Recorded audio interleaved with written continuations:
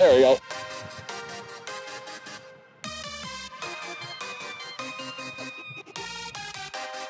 She is blowing. The fish are biting. oh yeah. It's not that fun cleaning a fish up here. there we go. Look at that guy. They're getting bigger. bigger gauge hook definitely is a must. When it comes to this, I don't like messing around, like getting them in the boat. Pretty, pretty smallmouth.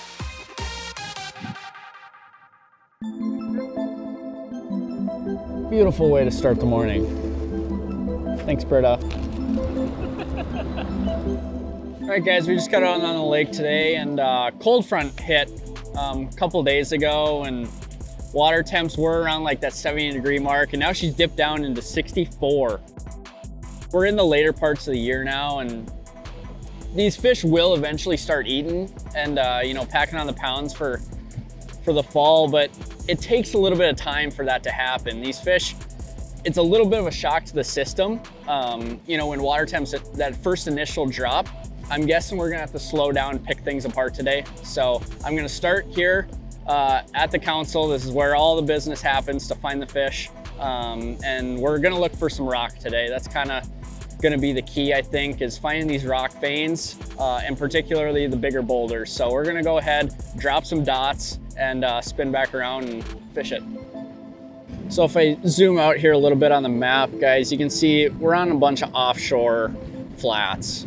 So the, basin's around that 25 foot mark, and then there's a whole bunch of offshore structure that tops out around that 12 to 15 foot mark. And so I'm just gonna kind of ride the edges. I'm gonna get on these steeper contours where I can tell that there's some, there's some depth change. And as you can see, we're kind of sliding up on the shallower water and we went from mud and now we're transitioning into a little bit of sand. When you're trying to find individual fish, you're, you're gonna wanna be around that four mile an hour, but all I'm trying to do is find rock. And so the way that I have this boat set up, it's, it's got two side imaging transducers on either side of the motor. And so that's just gonna give me the best readout and allow me to, you know, kind of scan around at a little bit faster pace, just because there's not gonna be a blowout on either side of the motor. So uh, it's, it's nice to be able to cover a little bit more water versus, you know, going three, four miles an hour. It just allows me to pick apart these massive flats and here's a bunch of really good looking rock right here. This is what we're looking for guys. I'm gonna go ahead and drop a waypoint on that little rock icon. We're gonna keep going here. And I'm just gonna cover as much of this flat as possible, dropping waypoints where I see good looking stuff. And then once I kind of got a lay of the land, we're gonna spin back around on it.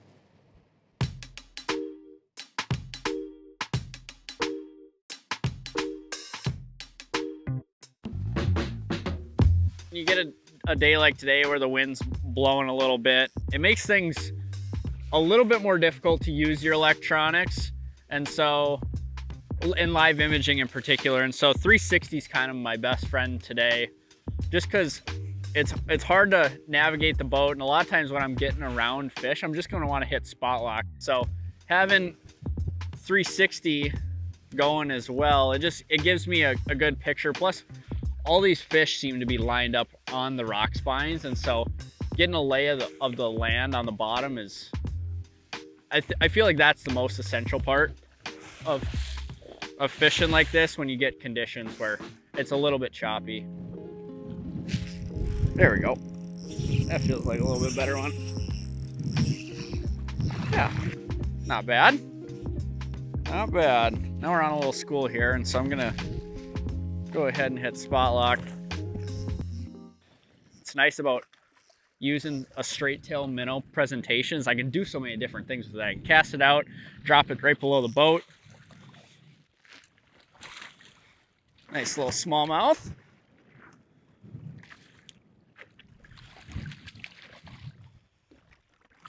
Ah, there we go. A little bit better one. There's a ton of bait out here. This is a Berkley power switch. About as good as you can get for imitating, you know, whether it's smelt, Cisco, there's a bunch of shiners in this lake, perch, whatever it is. Just this little guy flashing around. That's what they're that's what they're feeding on. So not seeing a ton of fish right off the bat.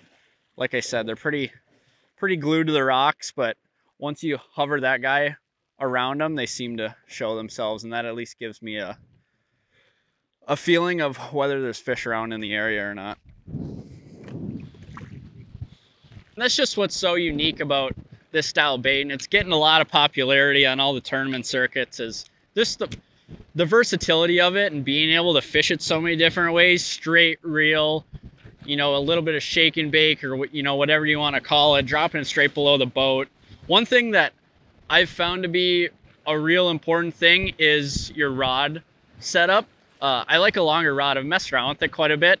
Uh, so this is a 7.4 medium, um, but I like a longer rod. I've gone all the way up to like a 7, 7.9 for whatever reason, it seems like I can work the bait a little bit better and, and slow it down like I was talking about. I don't know if it's the length of the rod that just gives the line a little bit different of an angle coming back to the boat. But for whatever reason, having a long rod and being able to just hover it up in the air like that, it seems to slow the bait down and I can just work it a lot better. Throwing this on 15 pound braid to a 10 pound fluorocarbon leader, and then a bigger arbor size reel, you know, 2,500, 3,000, that sort of deal. I like that just for line pickup and it seems like your drag only gets smoother the bigger size of reel that you go. Gussie's made a lot of money doing this exact tactic. Less is more in this situation.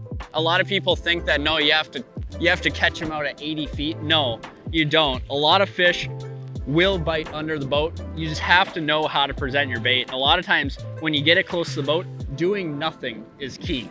You think jiggling it here and trying to get them to bite or lifting it up like that would trigger a bite? No. You literally just, if you have a school of smallmouths come next to the boat, drop it down and don't do anything. Eat it, eat it. There we go. Oh, that's a big one. That's a big one. Nice. He followed it all the way to the boat and you guys will kind of notice I I play with my drag a lot when I get fish next to the boat. You know, I can use the smoothest drag possible, but when the, when you got a when you got a short amount of line out, I feel like it's pretty key to play your drag and and give it some line manually if you have to hit spot lock here. There we go. Look at we got that. I just watched that fish. He only ate it like 10 feet from the boat, but always taking a peek at your electronics, making sure that you stay in the strike zone for as long as possible. It's a nice fish. What I was talking about with that last fish catch and loosening your drag is I have this thing pretty cinched down. Most of the time I wanna use a decent gauged size hook to really drive it home. So once I catch, or once I hook into a fish right here, there's not a whole lot of line out. And so I'm gonna give them the beans here, but a lot of times when you set the hook that hard, they're gonna come straight up to the surface and then dig straight back down. I've seen it a million times. And so that's what I'm talking about is once you drive that hook home, loosen off your drag, or if you have to, because you know you're, you're dealing with only a couple seconds here. Manually giving them a little bit of line seems to help and not lose those fish or break off next to the boat